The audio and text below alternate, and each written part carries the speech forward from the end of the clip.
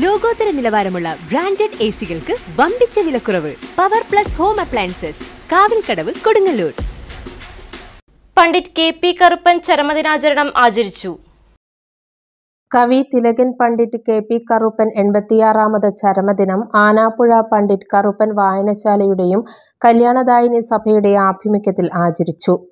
ആനാപ്പുഴ പണ്ഡിറ്റ് കറുപ്പൻ സ്ക്വയറിൽ നടന്ന പുഷ്പാർച്ചനയിലും അനുസ്മരണത്തിലും തങ്കരാജ് ആനാപ്പുഴ അധ്യക്ഷനായി.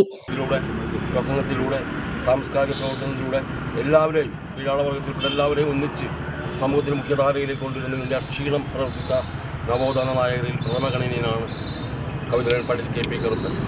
പക്ഷെ വളരെ കാലത്തോളം അദ്ദേഹത്തെ പലരും കണ്ടില്ല എന്ന് നടിക്കുകയും തമസ്കരിക്കുകയാണ് ചെയ്തത് പക്ഷേ ഈ അടുത്ത കാലത്തായിട്ട് ഒട്ടേറെ സാമൂഹിക പ്രവർത്തകരും സാംസ്കാരിക പ്രവർത്തകരും എഴുത്തുകാരൊക്കെ തന്നെ അദ്ദേഹത്തെ കണ്ടെത്തുകയും അദ്ദേഹത്തെ പഠിക്കാൻ തയ്യാറാവുകയും അദ്ദേഹത്തെക്കുറിച്ച് എഴുതുകയും ചെയ്തു വളരെ സന്തോഷമുള്ള കാര്യമാണ്.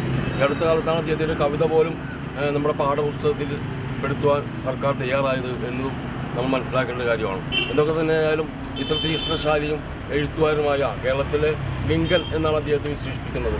സൂര്യ പടവാളാക്കി പൊരുതിയ അദ്ദേഹത്തിന്റെ ഓർമ്മകളെന്നും നമ്മെ സംബന്ധിച്ചിടത്തോളം ഒരു പുരോഗമന പാതയിലേക്ക് നമ്മെ കൊണ്ടുപോകാനും ഉയർത്തുവാനും വിദ്യാഭ്യാസ സഭ നമ്മളെ കൈപിടിച്ച് ഉയർത്തുവാനും കല്യാണ സഭ എന്ന് സ്ഥാപിച്ചുകൊണ്ട് നമ്മുടെ പ്രദേശത്തെ വളരെ വലിയ കേരളത്തിൽ തന്നെ അറിയപ്പെടുന്ന പ്രദേശമായി മാറ്റിയത് അദ്ദേഹമാണ് അദ്ദേഹത്തിന്റെ ജ്വലിക്കുന്ന ഓർമ്മകൾക്ക് മുമ്പിൽ ശ്രമിച്ചുകൊണ്ട് K R Vidyasagar N H Samson K N Jyothish വായനശാല secretary U T Premnath N A Rajeev എന്നിവർ സംസാരിച്ചു.